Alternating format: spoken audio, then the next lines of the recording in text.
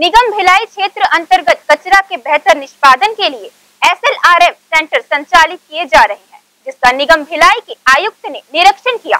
Zone one Nehru Nagar स्थित SLRM center में door to door कचरा कलेक्शन से आने वाले कचरे के पृथकीकरण की प्रक्रिया और बैलिंग मशीन की भी निगम आयुक्त ने देखा और कार्य में तेज़ी लाने के निर्देश दिए। साथ ही एसएलआरएम सेंटर में कचरों के निष्पादन को बेहतर तरीके से करने के निर्देश भी दिए। निरीक्षण के दौरान निगम आयुक्त एसएलआरएम सेंटर में कचरों का पृथकीकरण एवं बैलिंग मशीन में काम करने वाले सभी कर्मचारियों को एप्रॉन, दस्ताना, जूते एवं मास्क जैसे सुरक्षा संबंधी किट का उपयोग करते हुए कार्य करने के निर्देश दिए।